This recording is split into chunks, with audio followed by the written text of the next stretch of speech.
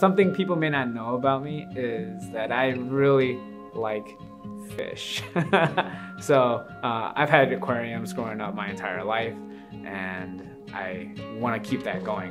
Um, but I always had a big passion for animals, right? Whether they're reptiles, big cats, whatever, right? Animals are just like one of my biggest passions. And, uh, you know, we rescue greyhounds, and so we currently have three big greyhounds, and uh, it just feels really good to bring home a dog that, you know, loves you and at first don't have any type of like connection and they're they're rough to like first take home but they start building that relationship and I think it's just being able to give back to to the animals is, is very like heartfelt.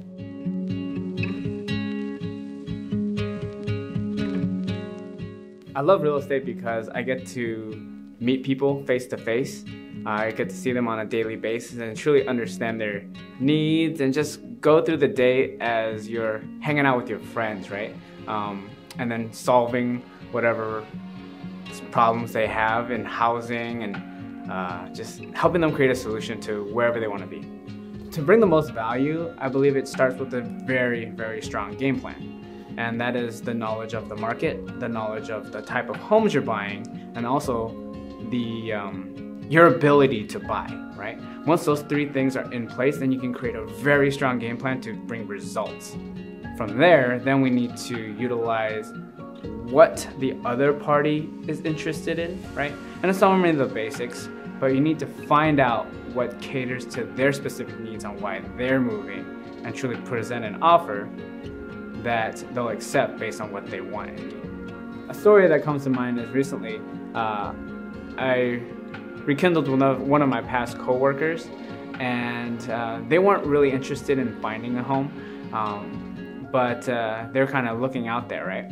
And so they ended up finding a property, but um, it was way above their price point, right? And they didn't feel comfortable buying it.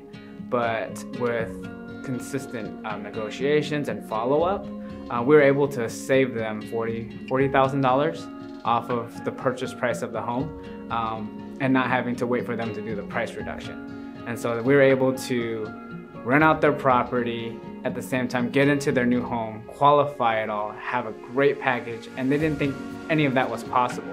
So now they have an investment property and their dream home. They're extremely happy. I'm Derek Tu with John L. Scott.